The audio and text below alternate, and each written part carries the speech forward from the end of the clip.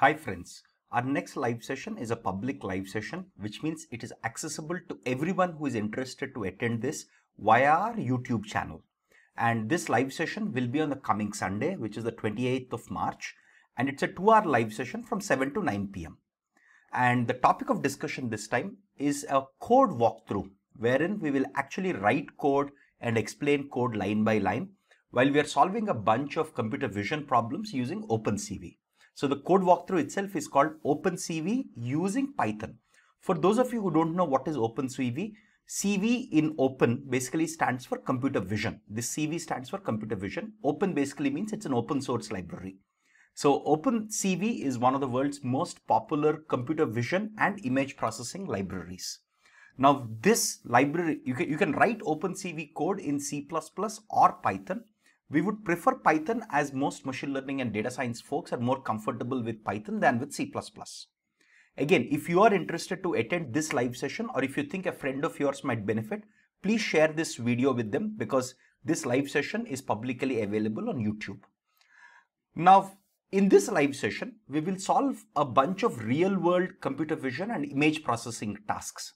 Obviously, we will start with some simple examples like how do you detect simple anomalies in a video? How do you detect edges in an image? Some simple examples, right? So we'll start with simple examples and then we will graduate slowly to slightly more complex examples in this live session. Again, for this, we are not assuming that you know OpenCV. We will cover everything in OpenCV. And again, for solving all of these slightly simple to somewhat slightly, some, to somewhat complex real world computer vision tasks, we will be using OpenCV extensively. Now, to understand this live session, we would assume that as a prerequisite, you already know Python programming, right? So if you don't know Python programming, you can check out tons of videos that we have on our channel and also our website, which is appliedaicourse.com, right? We have a ton of publicly available free videos at Applied AI Course and also our YouTube channel, which you can check out. If you already know Python programming, I think uh, you can comfortably understand most of what will be covered in this session. Again, we will not make any assumption of your knowledge of computer vision or image processing or the mathematics underlying this. So what we will do here is we will take up a real world problem. We will explain some of the foundational math the mathematics related to computer vision or image processing underneath this. Again, most of the math is mostly your matrix algebra from your 11th and 12th class. So we will just use some of that mathematics from your 11th and 12th class. Again, if you have forgotten some of it, it's okay. We will recap it for you.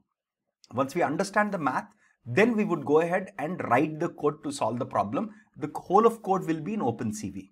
We will introduce the functionality of OpenCV in lots of detail as much as possible in this two hour live session right? So we are not making any assumption of your knowledge of computer vision or image processing. You just need to know some basic matrix algebra, basic linear algebra or matrix algebra from your 11th and 12th class. We will cover the basics of computer vision and image processing relevant to the problems that we solve in this session itself. So you don't have to worry about it.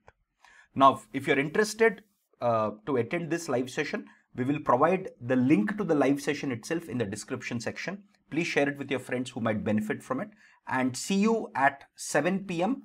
on the coming Sunday, which is the 28th of March.